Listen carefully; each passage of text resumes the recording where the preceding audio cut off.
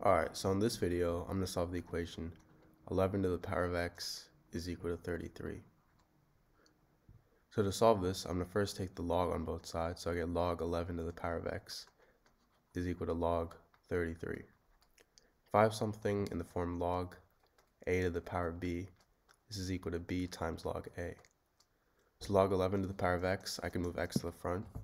So I get x times log 11 is equal to log 33. And from there, I can divide both sides by log 11. So these two cancel out, and I get x is equal to log 33 over log 11. And this is equal to log 3 times 11 over log 11.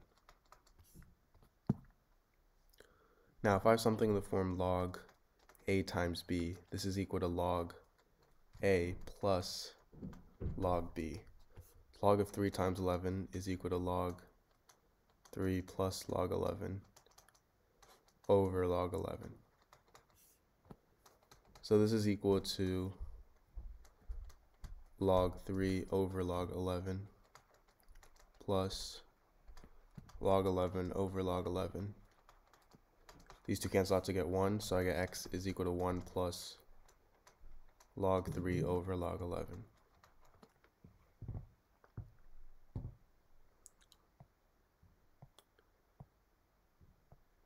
Now, log 3 is equal to 0 0.4771 and log 11 is equal to 1.0414.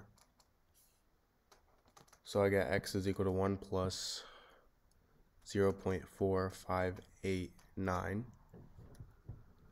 So x is equal to 1.4589.